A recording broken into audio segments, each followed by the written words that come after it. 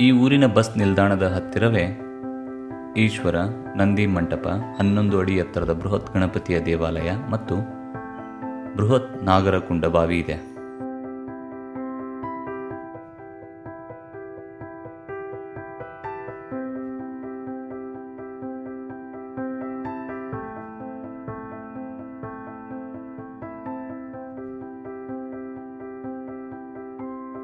ಈಗ ನೀವು ನೋಡುತ್ತಿರುವುದು ಹನ್ನೊಂದು ಅಡಿ ಎತ್ತರದ ಬೃಹತ್ ಗಣಪತಿ.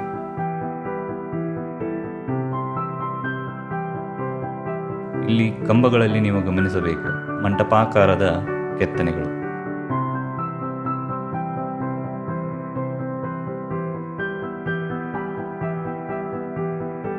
ಈ ನಂದಿ ಮಂಟಪದಲ್ಲಿ ನೀವು ಗಮನಿಸಬೇಕಾದದ್ದು ಕಪ್ಪು ಕಲ್ಲಿನ ಮೂರ್ತಿ. ಈ ರೀತಿಯ ಕಪ್ಪು ಕಲ್ಲುಗಳು ಸುತ್ತಮುತ್ತ ಎಲ್ಲಿಯೂ ದೊರಕುವುದಿಲ್ಲ. ಹಾಗಾದರೆ ಇವುಗಳನ್ನು ತಂದಿದ್ದೆಲ್ಲಿಂದ ಅನ್ನೋ ಪ್ರಶ್ನೆ ಹಾಗೆ ಉಳಿಯುತ್ತದೆ.